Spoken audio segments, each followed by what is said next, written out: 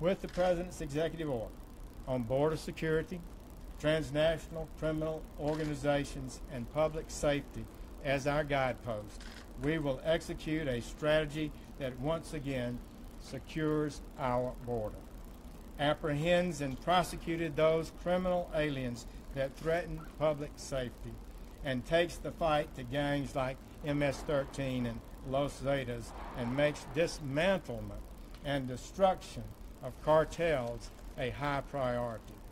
We will deploy a multifaceted approach.